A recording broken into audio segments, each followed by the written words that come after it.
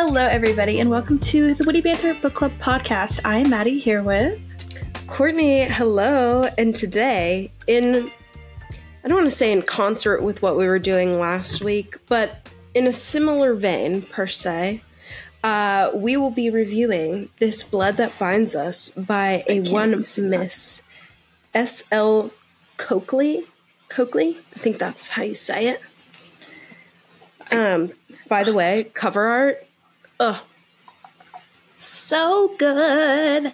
It's so Yes. good. This is the first book in a four book series. Um, we will decide if we're going to read the other ones um, on the podcast. But yeah, this week it's me. Um, I'm the one who's giving out, and there's a couple of things we need to establish first. First, I'm wearing my Stefan Salvatore shirt today. It felt like it was on brand, on theme today for some vampire. Um, I watched all of Twilight this week, and I made my boyfriend also watch all of Twilight with me this week. Um, so I I'm in I'm in a vampire mood, and I am a vampire fan. Okay, so keep that in mind throughout this review. Also, my background today says Andy Dwyer Core because I think that is how what best would sum up the main male character in this book. So I would agree. let's talk about this blood that binds us. So this, first of all, it's not really a romance book, and it's not really a. It's not the vampire story you think it's going to be. Um, in a similar vein to la- vein uh, to last week, um, they eh, the vampires in this story have been modernized okay they are they are different than the ones that we are kind of used to seeing they still are like you know bloodsuckers and stuff but inside of them lives this basilisk from harry potter-esque creature that whispers kill kill like that's what that's what i'm hearing in my head during those parts of the book I just imagine So like Venom. i mean that's probably a, a more accurate representation but the basilisk is what i was seeing in my head I think it is Um, because it's like italicized and bold whenever it talks. Yeah. just like the basilisk. um, yeah, so our main character, her name is Kimberly, and this is just a side note. One thing I do not super enjoy about this book is that everybody's names is their full legal names. They don't go by nicknames in this book. And I don't know why, but the name Kimberly bothers me. It's just one of those names where I'm like, ugh, why? I'm sorry if your name's Kimberly. That's just my like personal one of those opinion. dog whistle names that indicates something sinister to me. Right. Um, like Kim, fine. Kim Kardashian, fine. But when they call her Kimberly, I'm like, ugh. Kim Possible, fine. Kimberly Possible, absolutely not. Um, and then there's another character named William, and he just goes by William. That's a red flag. Yeah, That's a red flag. Will or Bill, that's all we take here. Yeah. Yeah. Or Liam. Yeah, unless you're the Prince of England, that's the only reasonable excuse. Or or and his name isn't even William. Willem Dafoe. Yep. okay, so let's. Okay, anyway, back to the story. So the story starts out with Aaron, who's the main male character in this story. Um, he's going for a little a hunt, if you will. Actually, that's not if you will. He does. He's going for a hunt. Yeah. um, he he has recently turned into a vampire within the last two months, so he is brand new to this, and he is still trying to understand what's happening to him. And he's describing what's happening to him as being like a venom esque creature inside of him, telling him to do something that he's like actively trying to not do, but he can't control himself. And he's in the woods trying to stay away from human civilians. And he comes across this girl and he's like oh man i wish that she was not out here. I wish literally nobody was here right now. And he can't help himself and he attacks her. And he bites into her and he gets himself to stop and um, he dials 911 on her phone and then he like bounces he's like out of there but luckily for this girl there were some nearby nosy neighbor campers who were walking by and saw that she had been attacked so um, she was able to get help and she is at the hospital. Now, that girl is our main female main character, Kimberly. Yuck. Um, and Kimberly is uh, just it sounds horrible on my on my tongue. She is she's an orphan. Um, she grew up in foster care, and she is convinced that a vampire attacked her, and she can't say anything because she's like, people are gonna think that I'm crazy if I did this. She's also poor, so she can't stay in the hospital. Like their doctor's like, stay in the hospital, stay in the hospital. He's not doing that. He's like, he's doing it seriously because he's a doctor. He's not like flirting with her. but the doctor's telling her to stay in the hospital. She's like, I can't. I'm poor. I can't. I can't. And so he like lets her leave, and she leaves, and she goes back, and she tries to return to her normal life. And she is walking on campus, and who does she see? The vampire that bit her. And she's like, I know, I know that he's a vampire. I'm gonna start following him around. So she starts following him around, and eventually they run into each other and he sees her and he's like, Oh my gosh, that's the girl I attacked in the woods. Oh my gosh, that's so embarrassing for me. Like, she's gonna see me and be like, He's a crazy guy who bit me in the woods. so they eventually meet up and he's like, There's no Twilight, I know what you are moment. It's, Hey, I'm really sorry I bit you. Um, I know this is like really super awkward. And she's like, You're a vampire. And he goes, Yeah, I am. Um, don't tell anyone. Yeah, don't tell anybody, please. Like, it would be really bad for me and my brothers because I got three brothers, and um, I think it would be really bad if that got out because like we're trying to escape this evil giant vampire family. And she's like, okay, um, I'm just gonna keep living my life then. And he's like, okay, but I'm gonna be part of it now because I'm gonna try to make up to you for all the bad things I did by biting you in the neck in the forest that one time. And she's like, okay, cool, I guess. Um, so then she meets this guy named William. Full legal names, can't stand it. Um, and he is kind of like flirting and like into her and stuff like that. And he invites her to a party, and she goes to a party, and guess whose party it is? That's right, vampire boy Aaron's house um, with his brothers. He's in a frat. Mm, that's a bigger red flag than him being a vampire, to be honest. And they, you know, she's like talking to Aaron. William's getting a little jelly bean. And yeah, that's pretty much the end of the spoiler parts. she, the story is, like I said, it is not a romance book. There's definitely like chemistry going on between Aaron and Kimberly, but they don't kiss in this book. Like there is not a single romantic interaction in this book. Aside from Um, like butterflies and stuff that they Yeah. both describe. I would Yeah. I would equate this to the first book of Ninth House. Like in terms of there might even be like a little less. I think it's less.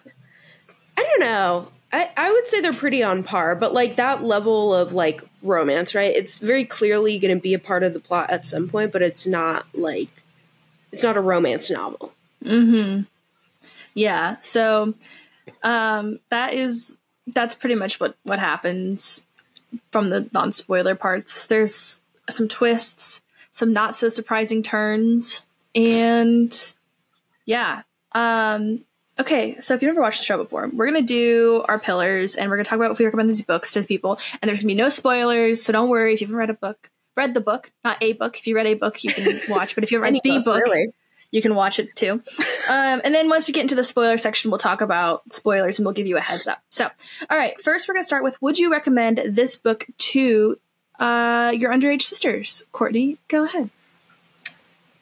Um, as is, I would say, yeah, I think so. I think it was all right.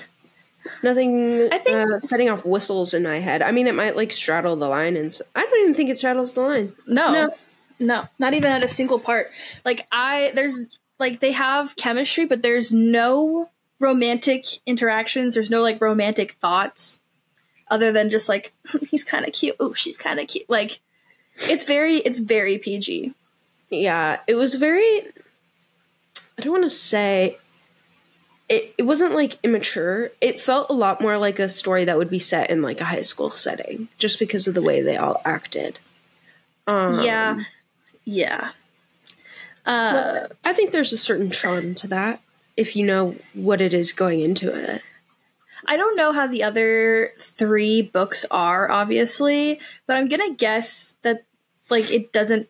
I'm, I'm gonna guess that this is YA, even I though it's not so. marketed as YA. So like I don't like the fact that it's not being marketed as YA makes me think that maybe like later on down the line there's gonna be some smuttery, but Well, yeah, There's and they they are all of age also. So like you mm-hmm. have to think tactically if it does feel somewhat like a high school book, why are they aged the way that they are?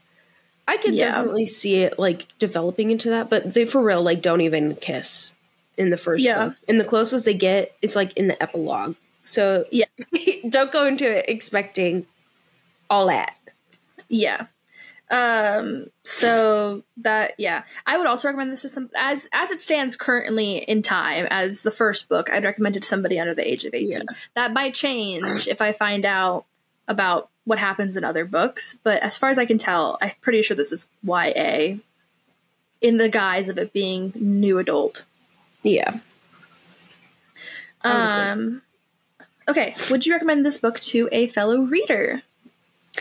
Uh, yeah, I think so. It was a pretty quick read. I thought it was like fun. Part it's pretty predictable, but like I don't know if that's writing and I've said this a billion times. It's very formulaic, and so like Mhm. sometimes it's hard to create a plot that is truly surprising.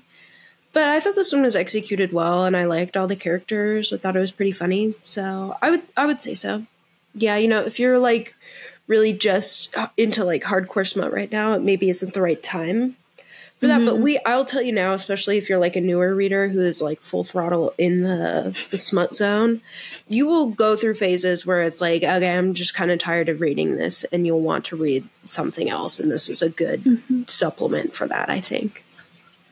Yeah, I hmm, I don't know if I'd recommend this to somebody. Maybe if they were looking for something kind of PG-ish and like just short, I would. But I don't think I would recommend this book to somebody just being like, "Hey, you should read this book." You know? That's fair. I think I here, I'll put this caveat into. If someone was like, "Hey, what's like a fun vampire book to read?" I would this would probably make the list. Uh, and It's better Yeah. than like Twilight. It is better than Twilight, mm-hmm. Which is not hard to be honest, better than a- yeah, a low threshold. yeah. It's But- not hard to be better than Twilight. Um, yeah, I like I liked it. I get where you're coming from though, like especially I don't know. It did have some it again, it kind of for me minus the smut falls into like the werewolf category of the stuff that I've read in the past and so like I feel like that's a very niche area. Mhm. But I do think like a teenage girl would enjoy this book. Yeah. You know. Probably somebody who's a little bit younger too. Like probably like I would say like this is why I'm so confused because I'm pretty sure that this is being marketed as new adult and not young Mhm. adult. But like the age range for this I think would be perfectly fine at like 13 to 15 years old. Yeah, I think Claire would probably like it. Plus, there's like a underlying, not murder mystery per se, but just like a mystery that's kind of Yeah. like a compelling force. I think that's why I draw some of the associations to like Ninth House. Mm-hmm. Very like I don't want to compare the two; they're pretty different, but like just the way like the characters' relationship develops reminds me a lot of that, and then like the undertone of mystery. Yeah. Okay, so we're gonna move on now to our four pillars. So we're gonna rank our pillars out of five, and then we'll give it a overall rating that has absolutely nothing to do with the pillars, just the way that we felt about the book. So the first pillar is going to be the witty banter. Courtney, what would your witty banter on a scale of one to five? Um, I think maybe like a four. I don't know. I I think like I thought Aaron was pretty funny, uh, and like really the witty parts of the banter come from like his relationship with his brothers, not necessarily his relationship with Kimberly. But I do think that they have like a good rapport, especially like when they're getting to know each other and stuff. Um, I don't know. I thought the dialogue overall was pretty good. Um, and I just like the brother relationship that the author creates is really fun. Um, it it almost reminds me. I mean, like just imagine if the Vampire Diaries was like doubled. There's just sexy men everywhere that are all Right. related. Um, but there's not I there's not really like a love triangle per se either. William Mhm. sucks. I don't think he's Mhm. like funny at all, so I don't really get why she was all into his razzle dazzle. But I I think like a three or a four. I don't know. Maybe a three. I'm gonna go with a three. I think it was good, but it wasn't like revolutionary. hmm I think I would give it. I think I would give it a four because there are a handful of times that like I actually laughed out loud at some of the things Aaron was saying. Like I was like, he's just he is just goofy. He really is just Andy Dwyer. Yeah. Like there were so many parts of him where I was like, this is this is Andy. Like there's nobody else I see Yeah. in my head. And then they like describe him as being like tall and lanky, and I'm like, nope, he's Andy. yeah, he very golden retriever. He's blonde. Mhm. Normally, when I see that in a love interest, I'm immediately put off. But it's okay if they're golden retrievers. right. It fits Right. the the the diagram, the template, Mhm. if you will. Yeah, so I would give it I would give it a, a three or four. Okay. a four. Okay, what about the character development on a scale of one to five? Uh, I think I'll also give that like a three. Um, I mean, obviously they're like dealing with I mentioned before a mystery, uh, and just like Aaron is a newly transitioned vampire, so he's struggling with lots of different parts of that. His brothers were involved with like the vampire mafia or something, and they're keeping a lot of secrets from him. And he's like an angry older teenage kid, right? Because he's in college, but like in his first couple years. And so, like, kind of coming to terms with the fact that, like, his older brothers, who he's always viewed as like parental figures, aren't like the best people and that they're keeping secrets. But it's to protect him. Like, I think that is really his arc to a certain extent and just like living with the. He struggles morally he's a lot like Edward, where he struggles morally with like the fact that he has to feed on human beings. Um, and by the end of the book, he kind of just has to learn that like it's something that he needs to do in moderation in order for like the greater good. Um, Mhm. and then I would say um, Kimberly's personal development is really just like finding a place to fit in. She grew up in foster care.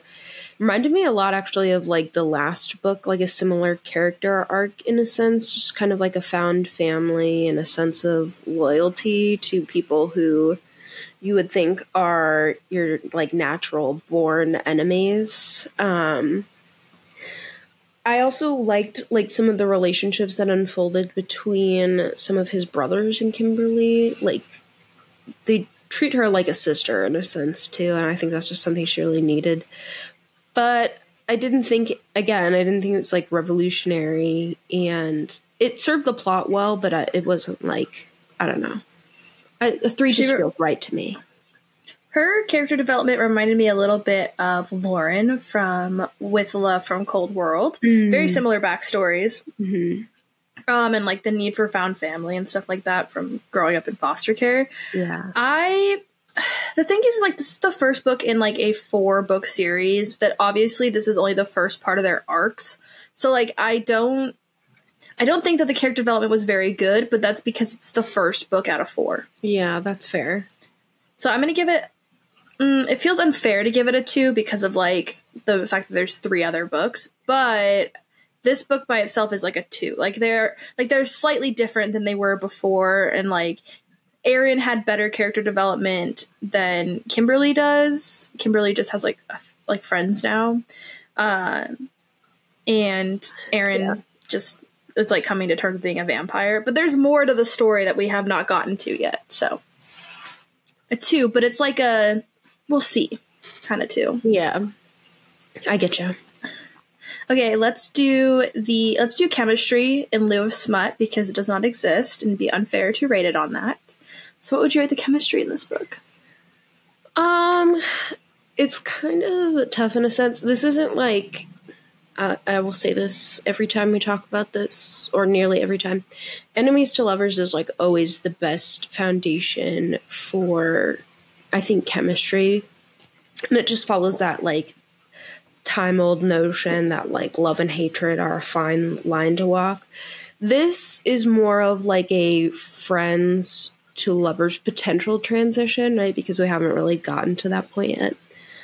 I would say like they have a solid foundation of friendship. Like of they spend the whole book building kind of like trust in each other. Um, being people who both have to like keep a certain amount of distance or like secrets from each other just by the nature of their relationship. Um, but I also liked to like throughout the book as he does like really nice things for her and vice versa it'll just be something where like the other character will be like oh that like gave me butterflies and stuff. It's not like this intense huge attraction like we see in a lot of these novels where they're like fighting it off. It's just something that kind of like naturally grows as they learn to like trust and get to know each other. And i do think that there's like a certain chemistry in that. It's just a lot different than what i'm normally drawn to but i do think it, it was good for that and I, it also just i feel like this is would be better set in like a high school setting because it, it's almost like more of like a like a pure love to me not like a mm-hmm you know, like an innocent love, despite the fact mm-hmm. that there's like an immortal person involved. He's still very young and like, I don't know, that transition from friendship into a romantic relationship just suits that better in my head. So I want to give it like a three, I think. Yeah, I think a three is sufficient because you can definitely tell that there's going to be a romance between them in the future, mm-hmm. but it's hard to tell, like, because you're just getting like the very starts of it, you know, mm-hmm. like, I'm like the butterflies are good. Yeah, I think a three is fine. Okay, last category the realism. What would you rate it on a scale of one to five? Um, so you gotta take it for what it is, right? It's a vampire book. um, I thought parts of it were like semi-realistic. Parts of it were not, for obvious reasons. But I did think that the pacing was good.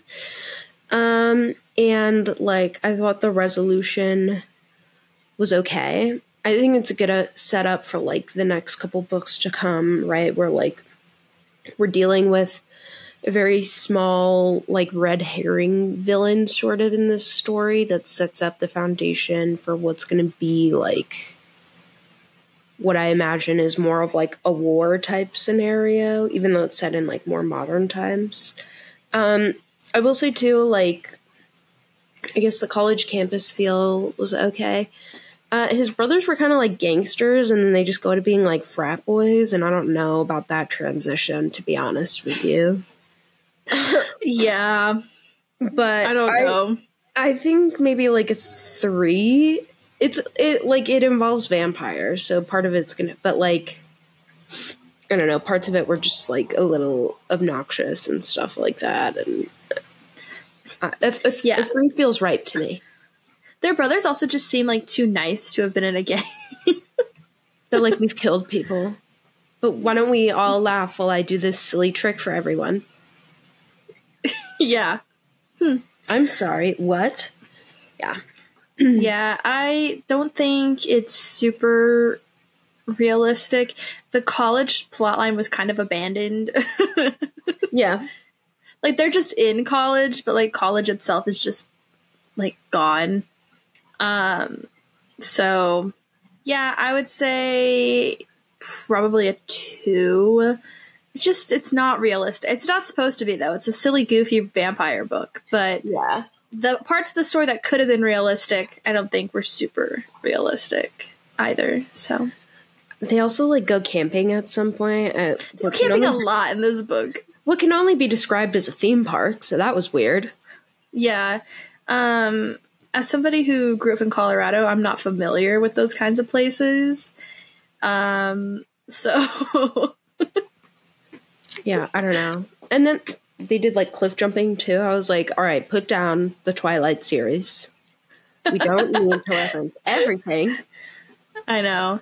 There's even a reference to Twilight in There the book. yeah. So, yeah. Um, okay. Overall, what do you give this book on a scale of one to five? Um, probably like a high three. I don't think it's quite a four. It was like mildly entertaining. I think like I'll at some point, even if we don't read it on the podcast, like I'll finish off the series just because the first book was like pretty short too. Um, so it's not that much of a hassle, and like I'm somewhat invested in figuring out how the story ends. But uh, I think if it's three feels right. It's not a low three. It's not. I'm not being like gracious with that. I think it it's like a, a true three or maybe like a diet four. But I think I think it's a true three. I there were parts of it that were really funny and like that I like felt entertained, but I think that this book could have used some more editing. I think that this Yeah. book could have used a little less chunky dialogue. Um and yeah, I will say this is the this author's first book like ever. And she's only I mean like 24, I think. So she's super young too. Um hell yeah, girl. yeah. So like it is not a like a like it's just like it's not bad. Like it's not a bad book. And it's if Mhm. you're looking for something that is going to be entertaining and short, go for it. But it's definitely got its flaws and it's not the best storytelling I have heard. But it doesn't like put me off from wanting to read her other books that she's Yeah. published in the same on the same story. So I agree. yeah. Okay. Well, we are going to move on to the spoilers now. So if you have not read the book and you want to, bye. See you later. Come back after you finish reading the book. Um, if you have read the book or you don't care, feel free to stay. Have a little convo with us about it. A little chat. Um, okay. Bye. One, two, three. Spoiler time. Um, I saw the plot coming from like the first time that she talks with William. I'm like, he's a vampire. yeah, that guy is bad news for sure. He just shows up Yeah. in her class. He's like, "Hey, can I have your notes?" Yeah. First of all, uh, let me tell you this, ladies in college, men, if they don't take their own notes, they don't read yours. They're Yeah. not. Why would you give them that? One, yeah, those are vital. Okay, those are yours. Never trust a man with your class notes. And second of all, it is one hundred percent a guys to like infiltrate your uh, inner sanctum, and Yeah. oftentimes used by equally evil men. So, um, I mean, I guess William isn't like really evil, but he's super annoying. Um, he is. I The could not stand him. The end part too where it's revealed that he's not actually a part of the mafia. He's a part of the legion which is like a group of vampires who are against or like monitor they're like the bureauc- the bureaucrats of the vampire world like monitoring the family. But it just felt really like i don't know just so it was just so weird like they're also like part of they're like a religious cult basically Yeah. the legion is so i'm like okay, Yeah. trade one evil for another buddy Yeah, and it just there was like it. mm, I did not like that. I also felt like similar to in Bride. I felt like the vampire system here also felt like superheroes. yeah i could agree with Like, that Uh, the Legion is like. I mean, they're called the Legion. Like that's so DC Comics of them. I yeah, and then there's also apparently queens involved. There's six queens, and I'm like, okay, ACOTAR. yeah i think like i don't know i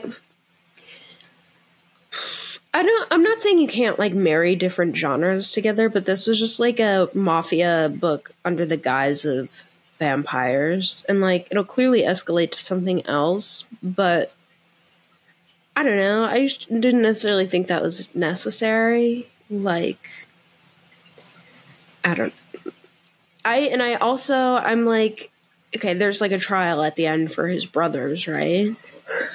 And I'm like, this is the most half assed trial I've ever seen in my life. He's like, tell me a story. Tell me your story. And I'll know the truth in your heart and I'll decide whether or not you're guilty. Is that what you're gonna do when you're a lawyer? When I'm a lawyer? No. One, because I'll not litigate, and two, because I am, will not be a judge. um, um, never say never. Whenever you're a judge one day, you're gonna be like, here to play this clip. Yeah, I know it's in your heart. I'll know if you're telling the truth. yeah, do that at sentencing. Mhm. That's a good way to get everything I do overturned. Your Honor, it was just bad vibes. Your Honor, the stars told me that um, I needed to commit this crime. I can't be held ac- accountable for Mercury being in retrograde. Um, It's just a full murder trial. I'm like, hang on, I need to consult my crystals. you just you like go under your desk and you've like you've like taped them from like the bottom of the desk, and they're just all there. My runes. Yeah, Sorry, buddy, it looks like a life sentence. Uh, and he literally Yeah. just did like a minor robbery. it's like they're like they're like, excuse me, judge, this is a this is a custody battle. In jail, in jail too. I am um, but yeah, that was such a half baked trial. And then he's like, "I find you guilty, but your brother's kindness makes me find you not guilty." Okay, uh, whatever. I guess I don't know.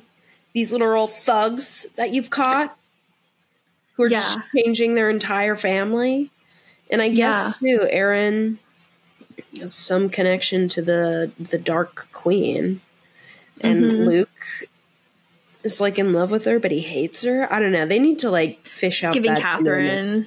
a little bit more. They need to explain it to me a little more because it is kind of giving Catherine, but I just like I don't know. As predictable as this book was, I'm like, you need to give us some more backstory on the brothers here. And like, um, I don't know. William, what I didn't like about William is that he is created into this like sinister character, and then by the end you just find out he's kind of like a dumb lackey. Yeah. Which is weird because he definitely was not giving that vibe beforehand. He was, It felt like an entirely different person. yes, yes, it did.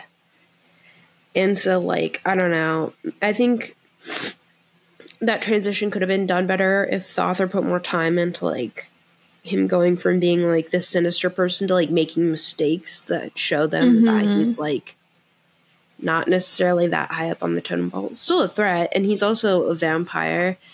And they're like, he has his, his reasons because the family did bad things to his family. And it's like, okay. Okay. All right. I just didn't really like him all that much as a character. And yeah, he's very predictable as like the bad guy.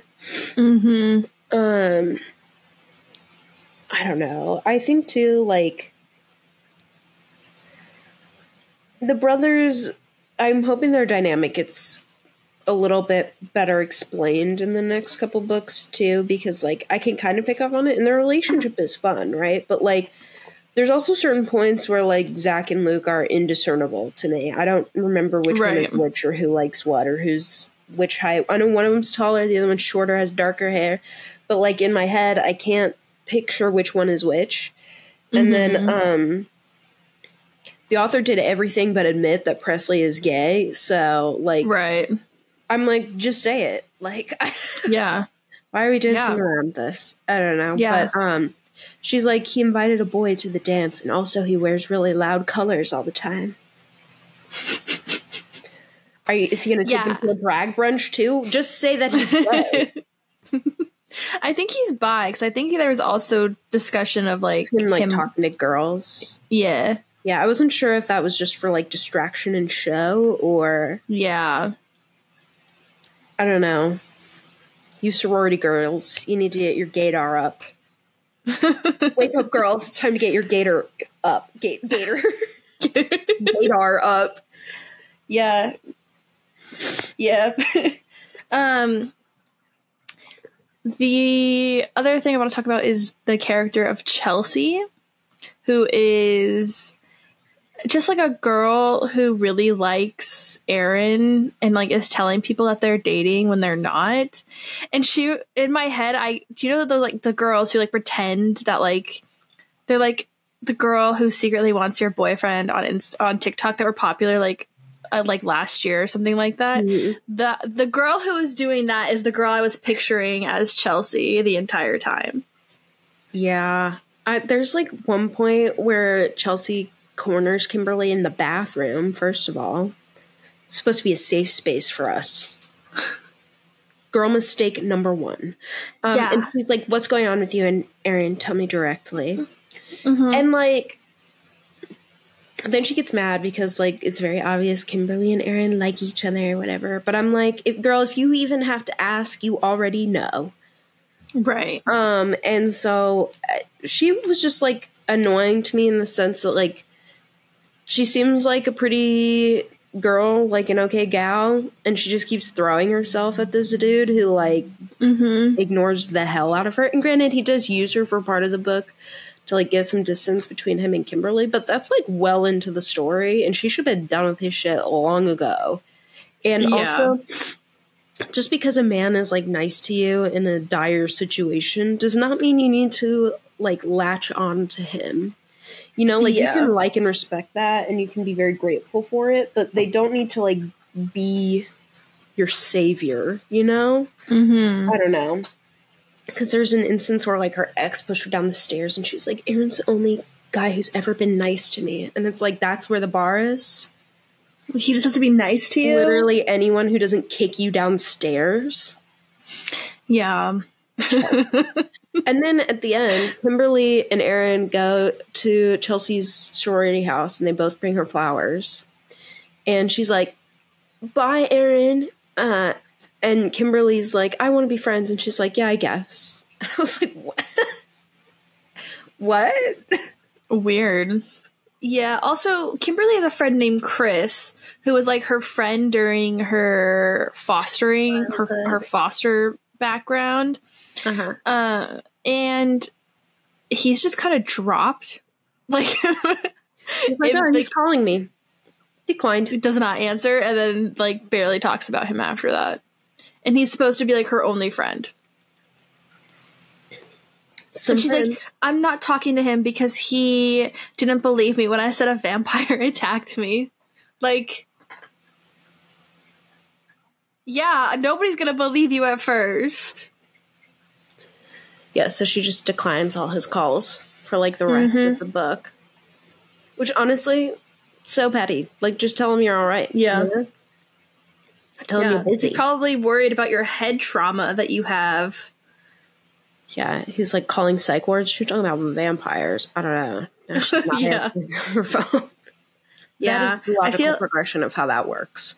What do you think is going to happen next in the story? Like, what do you think the end? Like, the like, what do you think is like what will happen from here on out? I think uh these stories it always tends to be like the human girl is not what she seems. Um and so like she's going to be a vampire at some point obviously. Uh, Obviously, I think with the whole queen thing, maybe they'll be like, "Oh, she can be a good queen." Then they'll make her queen vampire, however the hell that works. And Mhm. um I don't know, I'm sure her friend Chris will maybe get like kidnapped at some point. It'd be really sick if like one of the brothers died, but this seems like it's too much of like a a happy hunky dory type story with little to no consequences mm-hmm. Considering the vampires don't even like kill people Mm-hmm. on purpose unless they're in the mafia vampires like i don't know i i'm interested to see how the dynamic between whichever twin isn't like in love with the queen but hates her how that goes when she reappears and um i think aaron will struggle with some sort of sense of loyalty to like the queen that he's sired to because we all know what that is. Um and like his relationship with kimberly and i think it'll be something that she like struggles to understand initially, maybe, uh, and that causes some tension.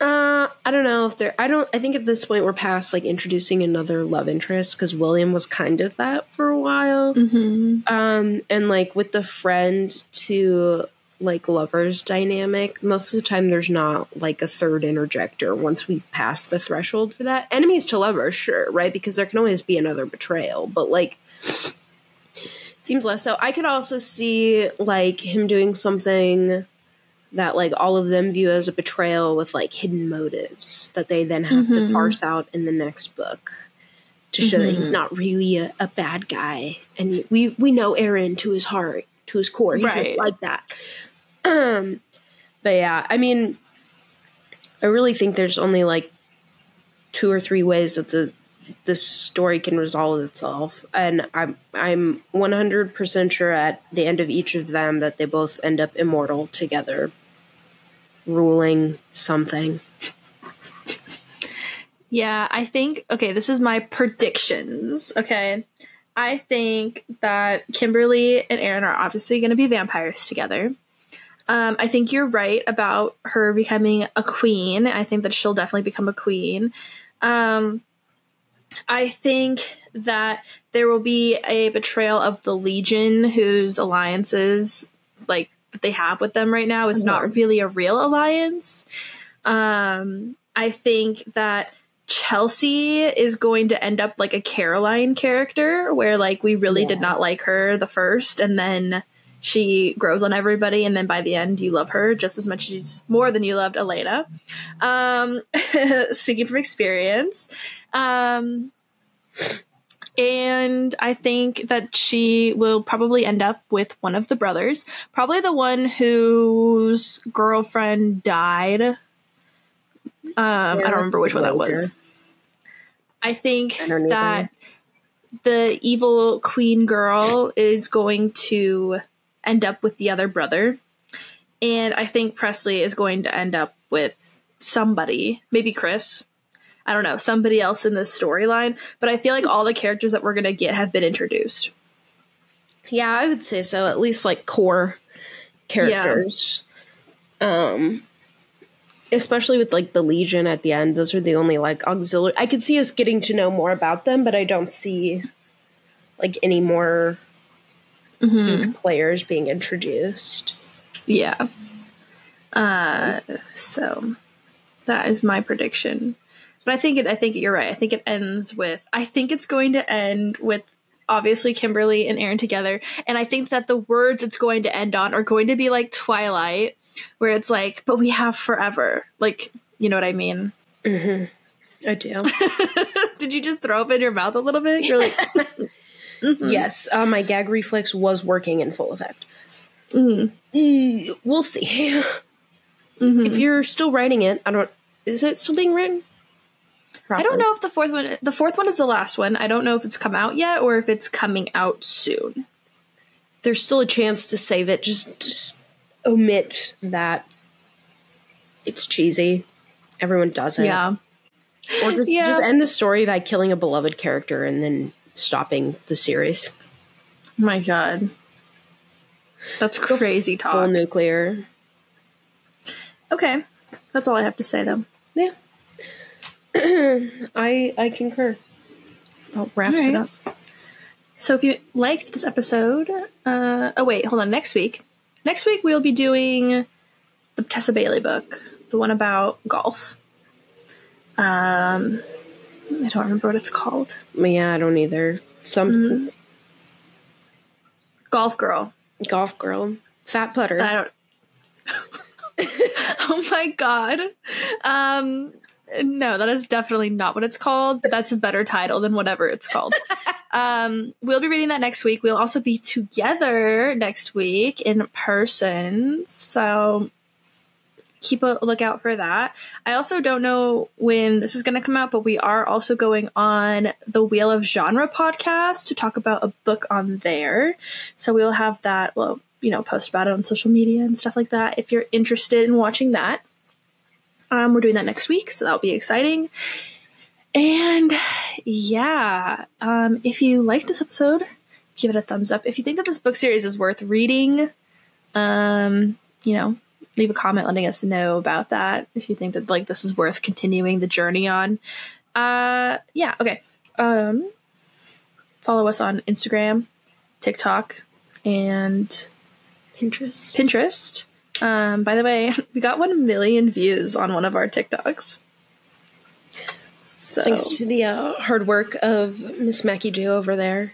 She's in her Twilight kitchen, cooking it up. I was in my twilight. People are so fucking mad at me. I have to throw that out, but people are so mad at me um, because of the casting that I chose for my Twilights.